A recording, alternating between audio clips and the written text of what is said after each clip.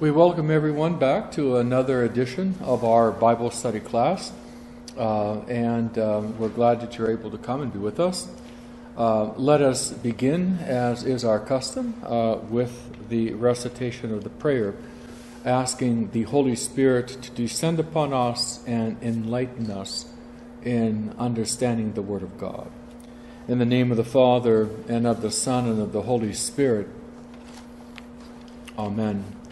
O Master who loves mankind, illumine our hearts with the light of your divine knowledge, and open the eyes of our mind to understand the teachings of your gospel. Instill in us also the fear of your blessed commandments, that may, we may overcome all carnal desires, entering upon a spiritual life and understanding and acting in all things according to your holy will. For you are the enlightenment of our souls and bodies, O Christ God, and to you we give glory, together with your eternal Father your all holy, gracious, and light creating Spirit, now and ever, and unto ages of ages. Amen.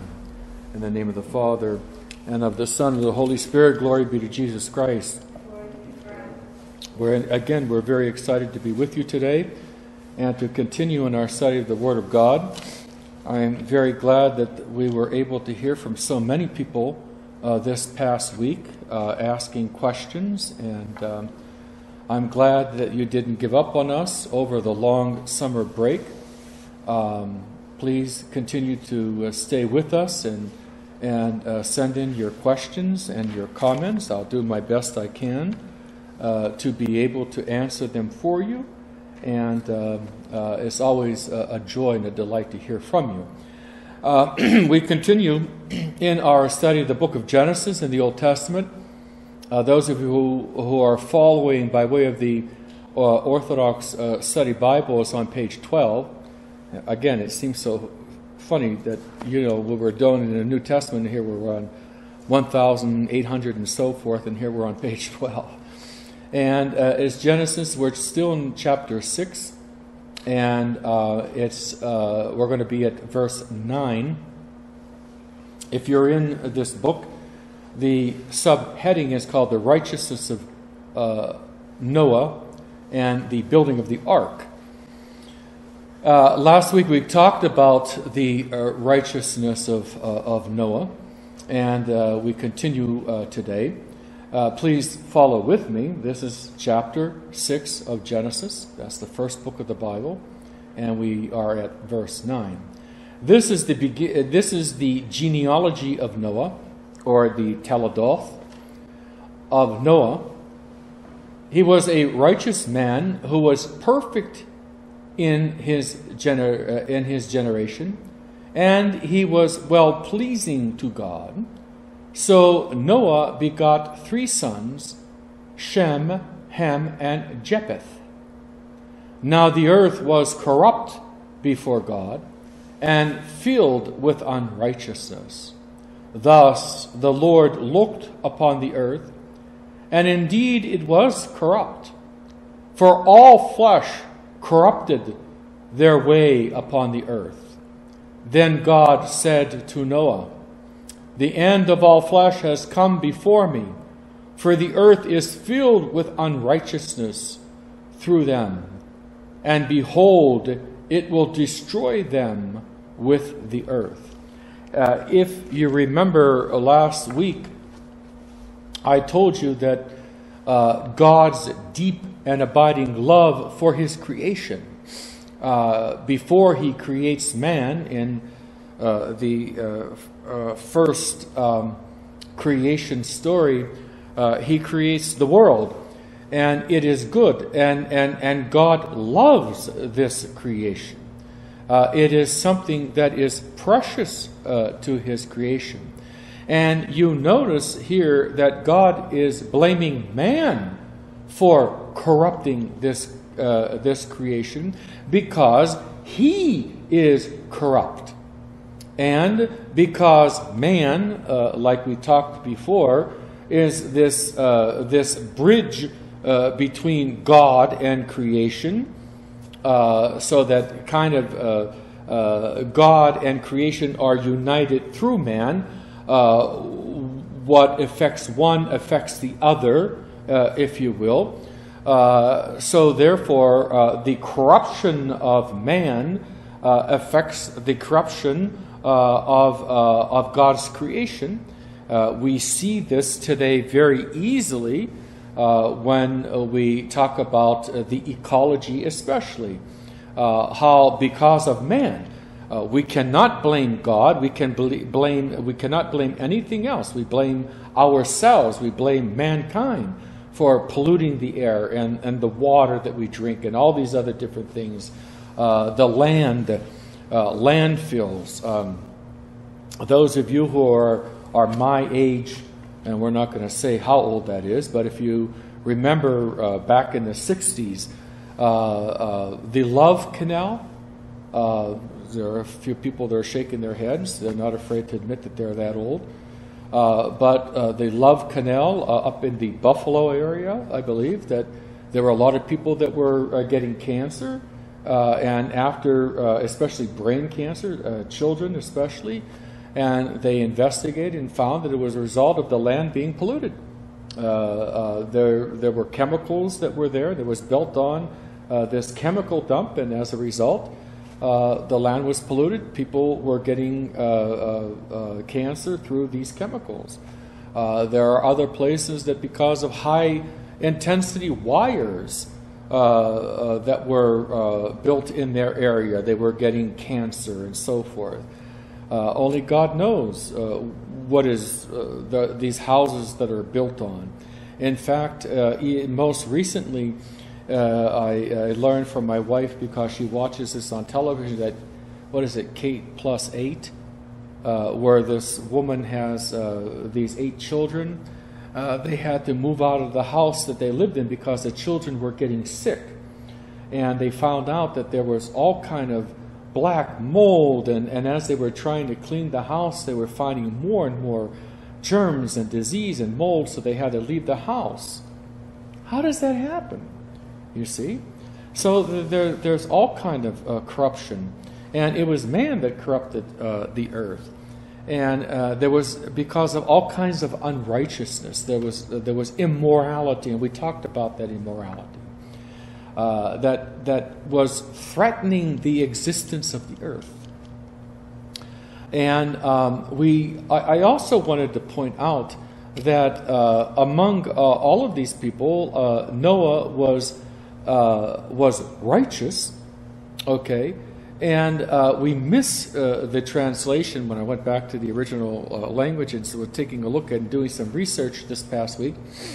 Uh, this uh, perf- perfection that is translated here, there, there are two understandings. Not, not only was he righteous, and what we mean by righteous is there is more of a kind of a legal terminology uh, that uh, Noah was righteous before God. He kept God's law. Uh, he was obedient to God. And that's a very important word. In fact, if you were to look at uh, monastic literature, especially in uh, the writings of the Desert Fathers, they place obedience as like the prime virtue. We must be obedient uh, to our father confessor. We are obedient in the, in the monastery to the spiritual father, uh, or the Geronda, or the Geronditsa in, in, in a monastic monastery of nuns. Uh, we are always obedient. That uh, and in that way, there is like a legal uh, relationship of being in the right relationship with, and in a legal matter. Uh, we are always following the proper law, you see. Uh, and that's what we mean by righteousness. Uh, but also, uh, the fathers of the church, and the scripture talks about that uh, Noah is also in uh, perfect in, in, in a, a, a, um, a ritual relationship with God. Um, that uh, he is also uh, in, in, a, in a holy uh, relationship with God, uh, that there is a certain purity, there is a, a holy innocence to him. Uh, so uh, not only is he righteous in that he does not uh, uh, break God's law. Uh, he is not guilty of, of, of these uh, grotesque sins that, are, that are bringing the corruption.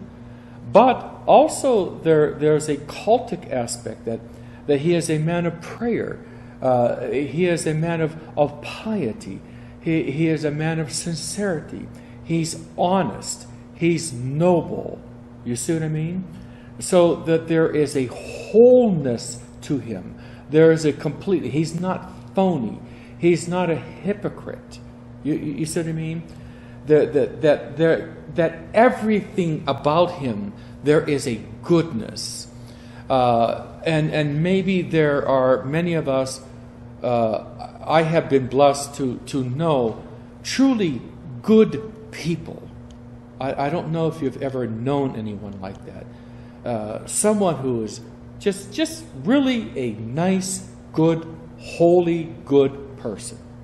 Uh, this is the type of person that Noah is. The complete opposite in uh, uh, uh the people of the time. And this is why God is choosing him. Not because, just because he's obedient, because he's completely different, inside out, you see. So, this is what we're talking about. And uh, he's going to be chosen for a, a specific po- uh, purpose. Then God says to Noah, The end of all flesh has come before me, for the earth, earth is filled with unrighteousness through them. And behold, I will destroy them with the earth.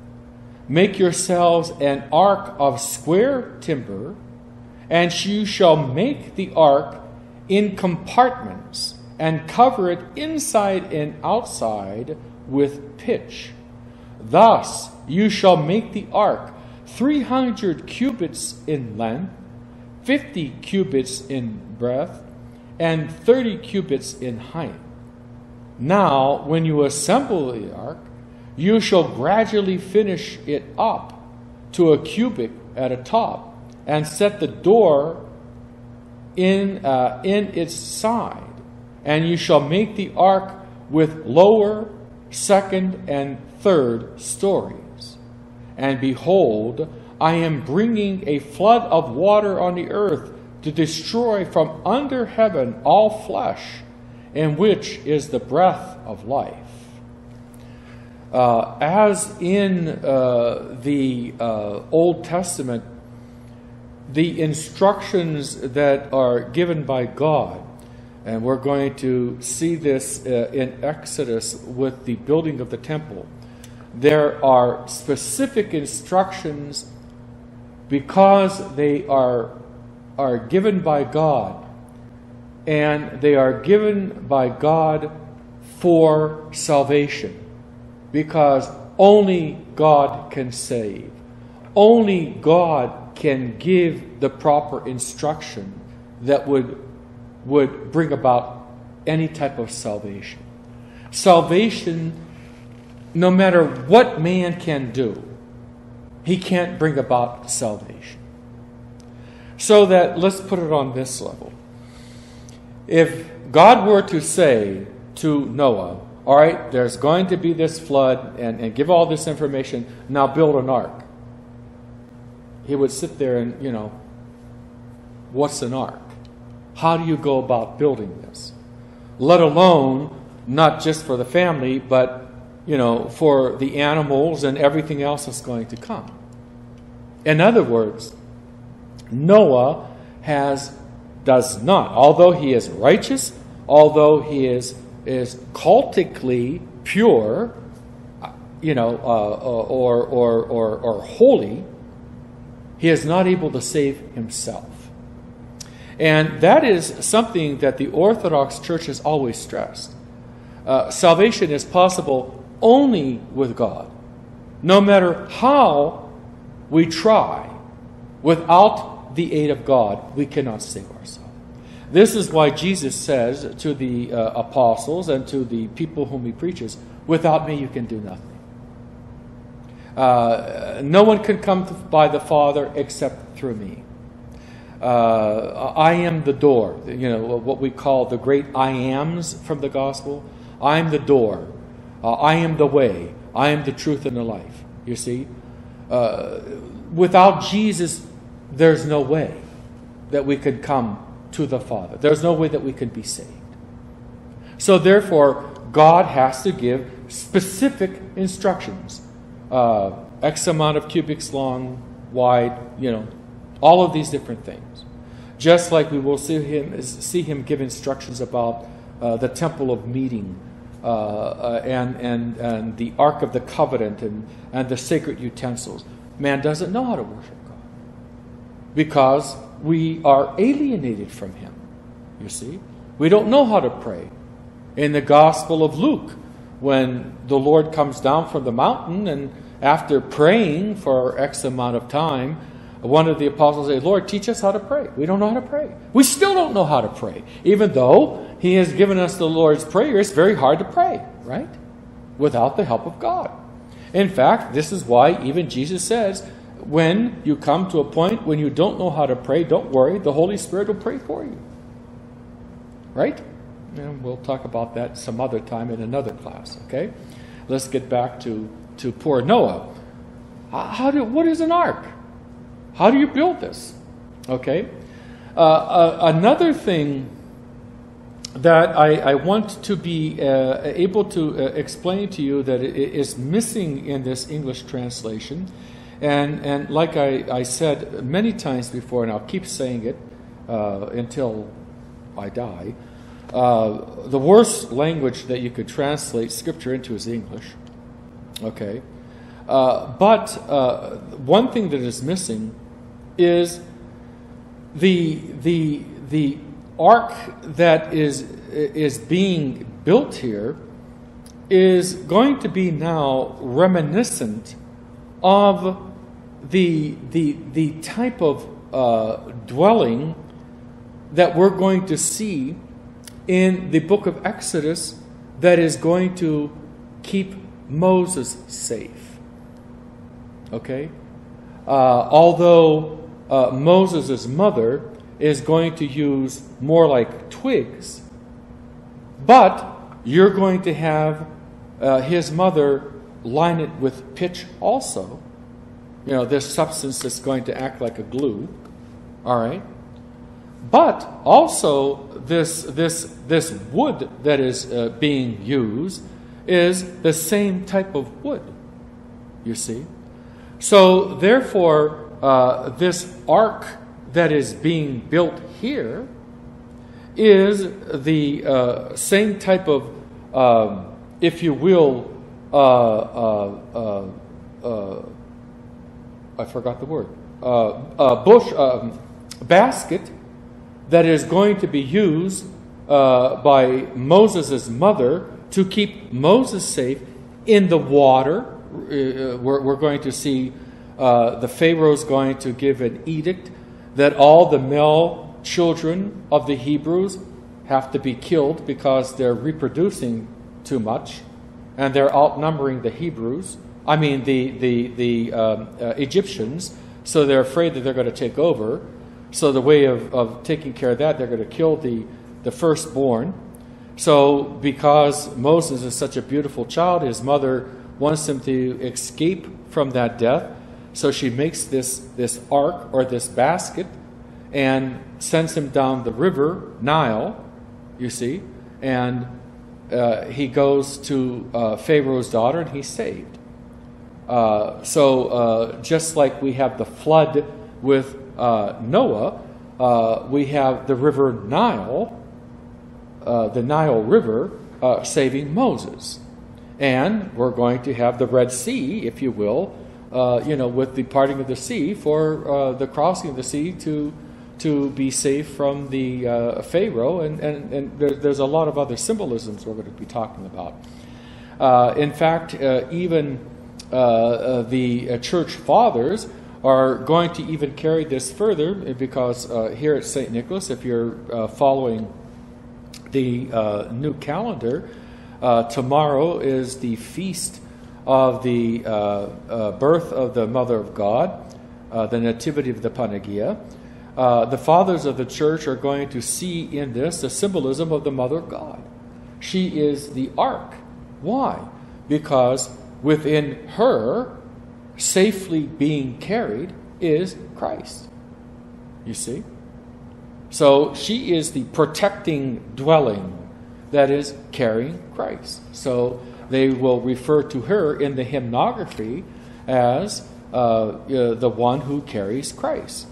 So, uh, therefore, um, there, there's a, a, lot of rich symbolism. So, uh, now he is going to make this vessel. Uh, there's going to be different um, um, um uh, stories and different compartments, and there are specific instructions on, on how this is going to be uh, uh, going to be put together and, and, and how it's going to be put together. Okay?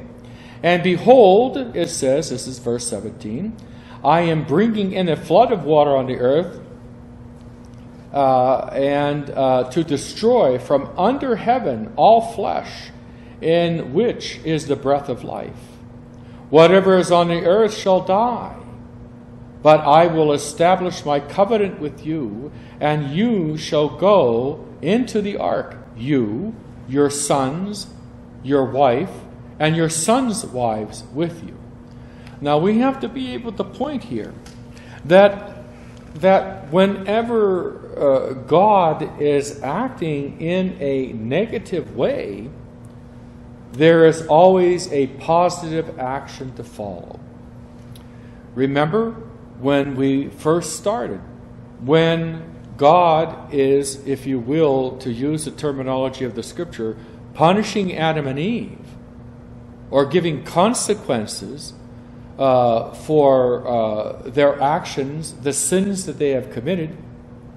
In Genesis 3:15, he starts talking about what we call the proto-evangelium, uh, where he starts talking about the enmity that will be put between uh, uh, her heel and, and the serpent, right?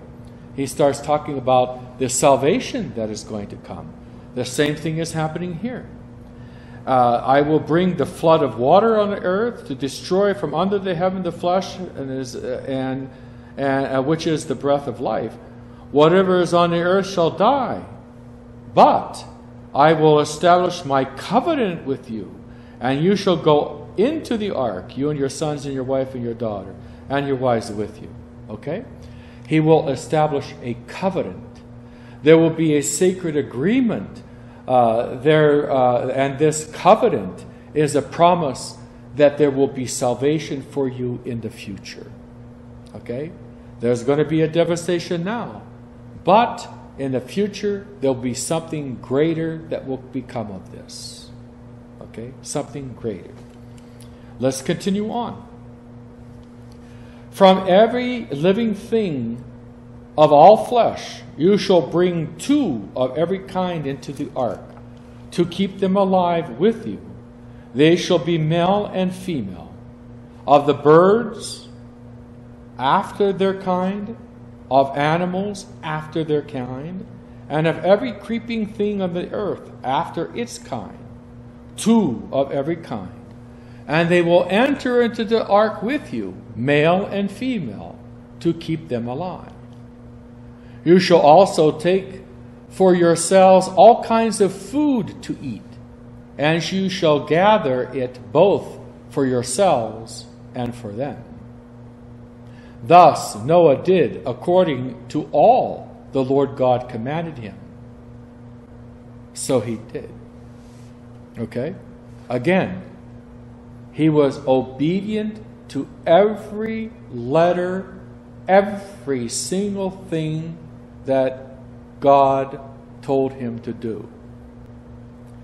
Now, in order to put this in a proper perspective, we also have to be able to realize, and I, I, I'm not trying to be corny, but I'm just trying to give you kind of a perspective this would be sort of like him trying to build a rocket to go to the moon. This is something extraordinary. All right? Who in that day ever heard of building such a monstrous ship of that kind? Or having the skill to be able to do this? Or the knowledge to be able to do this? You know, was, was Noah a shipbuilder? I, I don't think so. Okay? And even for others to observe this would be something strange. Okay? Maybe ridicule? No, th- th- this is nuts. And this is something that would be impossible on one's own strength. Okay? Now, another thing that, that uh, I, I, know that at, at one time I, I, used to teach uh, faith class at, at Holy Trinity, our parochial school here in Warren, the only one in Ohio. And um, my students asked me, well, you know, we were talking a little bit about Noah, and they said, well, how, you know, all these animals and, you know, uh, some animals, you know, in the fallen state, they're not very nice, right? And also, we have to note here that not only were the clean animals, they were the unclean animals. You know, the people of the, the Jewish people had clean and unclean. They were all saved. All right? All the vegetation, all these different things. And then the food. How did they feed? Okay? Now, we're going to jump ahead a little bit here uh, in regards to the flood. It rained for 40 days and 40 nights. Okay?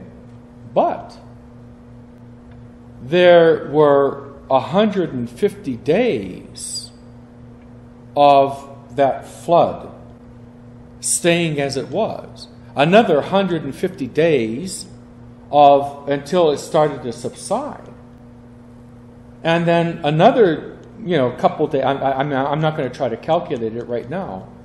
And then it took seven days before, you know, uh, uh, uh, uh Noah, you know, sent out the, the, the, the first, the raven came back with nothing. And then another, you know, uh, amount of time, 10 days or whatever, uh, until he, you know, sent out the, the, the, dove, uh, the, the, uh, the, the, uh, uh, the dove. So it was a full year before that ark settled on the top of Mount Ararat. Okay? So how can you feed all of these people? How did, you know, how did this happen? And it was the fathers of the church that believed that because of the grace that God gave to Noah, because of holiness, of his holiness, that he had, had, uh, omitted a certain fragrance that made the animals docile. Uh, and we see this even in the history of the church. Uh, many of the saints' relics that omit this beautiful odor. Um, in fact, uh, the uh, weeping icons, how many of them have a very fragrant odor? Uh, I remember when I was doing my doctoral studies at Antiochian Village. Uh, one time we were there, we were taking courses, and they had uh, uh, an icon and they also had a relic. Uh, they they uh, call him Moses the Black. Um, what is the other? Moses the Ethiopian, who, and um, it, the, the, the chapel's in the basement.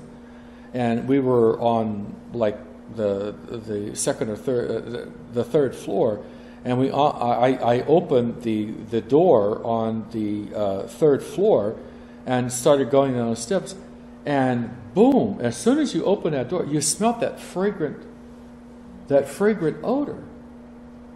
And as we, you know, went down and, and got into the chapel, it was the relic. And the relic was sealed in the reliquary. It didn't have holes in it, but it came through a sealed reliquary. Okay? So, so this can be done. It's not something impossible. We've seen it. Uh, in fact, even in the history of the church, uh, you've heard of stories uh, of, of uh, uh, Herman of Alaska that played with bears. Uh, Uh, uh, Seraphim of Sarov, who had uh, he had a bear as a pet. Well, bears are ferocious. you know, don't go into the forest and start playing with bears. You know, I mean, they it omitted a fragrance or something that, that made these animals docile, you see. So, therefore, uh, these miracles have occurred in order for uh, the, these, these things to happen. And uh, uh, this is, of course, by the grace of God, in order to regenerate, if you will, uh, His creation. Uh, and, and, of course, Noah did all of these things in obedience to God. So let's go into chapter 7. Then the Lord God said to Noah, Enter the ark, you and all your family, because I have seen you righteous before me in this generation. And you shall also bring with you into the ark the clean cattle by sevens, male and female, and the unclean cattle by twos, male and female and the clean birds of heaven by twos, and male and female, to keep seed alive on the face of the earth. For after seven more days I will cause it to rain on the earth forty days and forty nights, and I will blot out from the face of the earth every living thing I made. So Noah did all the Lord God commanded him. Remember, I told you clean and unclean all of God's creation he loved, even the animals. Even the animals. Now Noah was 600 years old when the flood of waters came on the earth.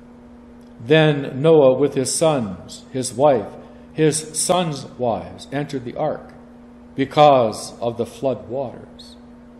Also, the clean and unclean birds, the clean and unclean cattle, and everything that creeps on the earth entered with Noah into the ark, two by two, male and female, as God commanded him.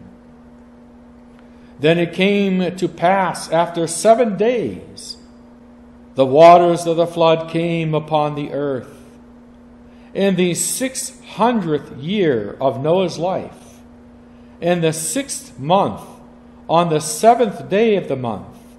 On that day, all the fountains of the great deep were broken up, and the floodgates of heaven were open. Then it rained on the earth forty days and forty nights. On the very same day, Noah and his wife, his sons, Shem, Ham, and Japheth, and their wives entered the ark.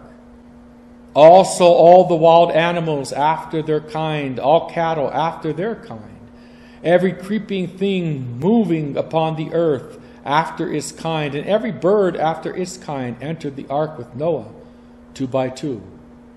Of all flesh, in which is the breath of life. Again, why do we repeat this breath of life? The breath of life comes from God, it is a gift from God. It is a living thing. It belongs to God. It is the ownership of God. And because of that, no one has the right to destroy. Okay? It has the breath of life. So that those entered, male and female, all of flesh went in as God commanded him. Then the Lord God shut him in the ark and we have to note that the Lord God closed the door. Okay? He was the one that shut it. He was the one that held them safe by his hand. He was the one that orchestrated all of these different things. Now, what had happened was that the people were inside. They were, were placed in an orderly manner according to which God had told them. Everything that God does is done in an orderly manner. There's nothing haphazardly. If it was, stars would be running into each other. You see, there would be chaos. Even in the ark, there's order. You see? All of these things are, are, are done properly. All of these things are done properly. Um, and, and, and he is the one who, who uh, uh, shuts uh, the particular door. And it is he, uh, by his will, is now uh, keeping them safe. Okay? Now the flood was on the earth 40 days and 40 nights. The waters increased and lifted up the ark, and it rose high above the earth. So the waters prevailed and greatly increased on the earth, and the ark moved about on the surface of the waters.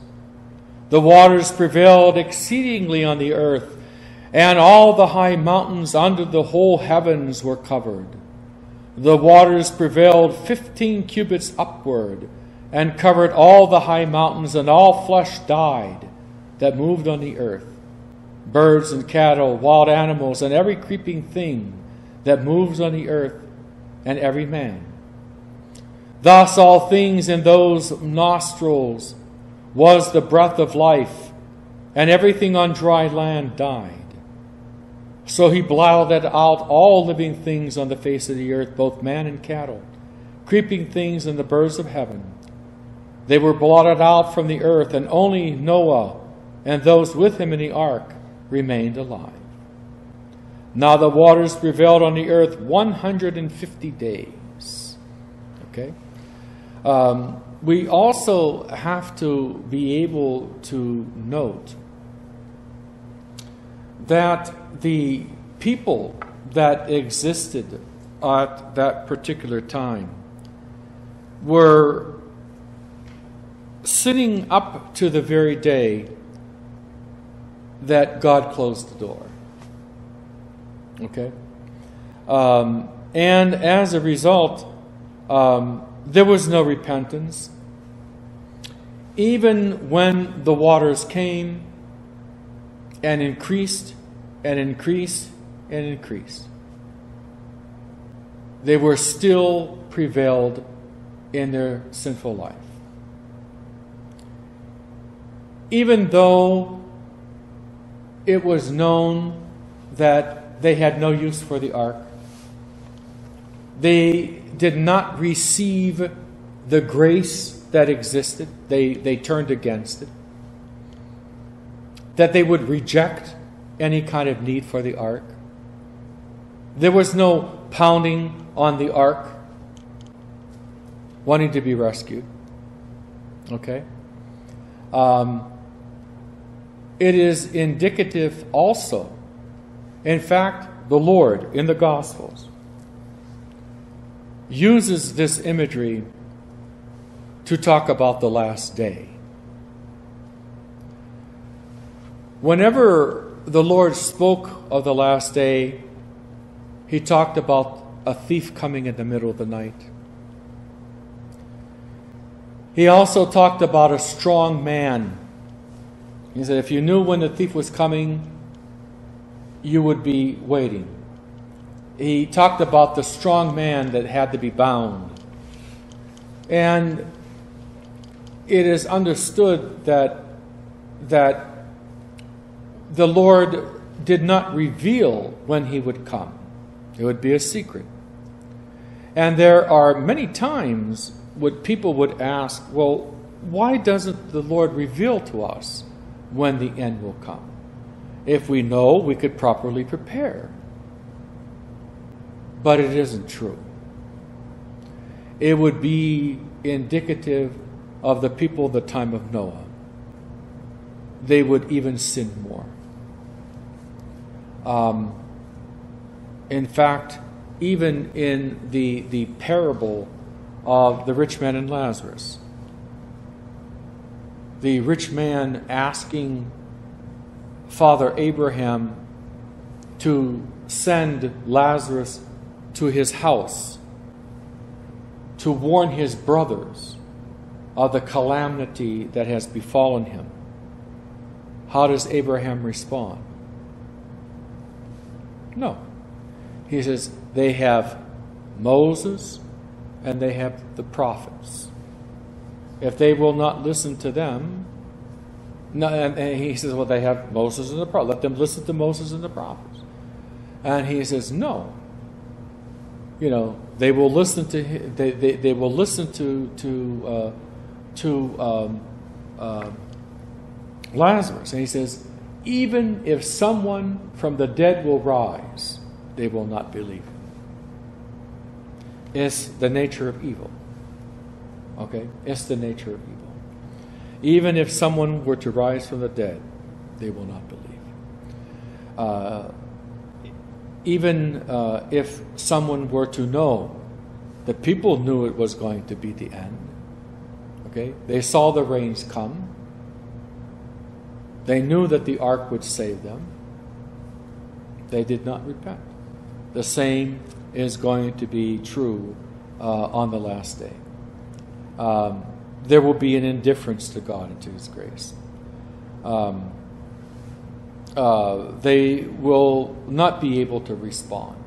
Uh, there will be no repentance because of the distance uh, between them and God and their inability uh, to, uh, to repent.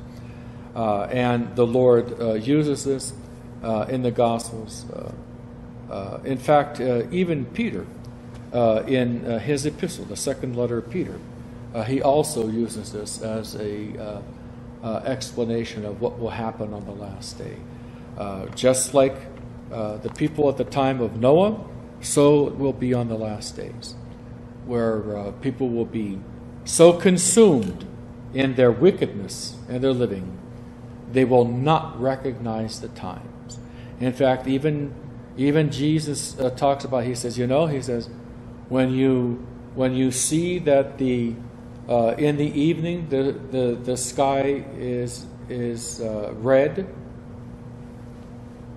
You know, you know that this is going to be a nice day. If you see in the morning, uh, what a red sky at, night, sailor's delight, right? If it's red in the morning, you notice you, there's going to be rain. There's going to be bad weather. Uh, all these other things you know how to predict, but you know you, you can't read the, the, the, the, the signs of the times. And he says, you can't recognize, you know, who's before you. You, you can't realize that he's the Messiah because of the evil that's in your heart. You know, you can you can do all these other predictions, but you you can't you can't understand the truth that you're hearing in the gospel. The the same is true on the last day. I thank all of you for, for listening and for being with us today. We're going to be here next week too, right? Yes. And hopefully you'll come and join us. We're going to stop here because uh, the next chapter is going to require some extra uh, uh, uh instruction. But uh, we will be here next week. We hope that you'll come and join us as we continue on in chapter 8.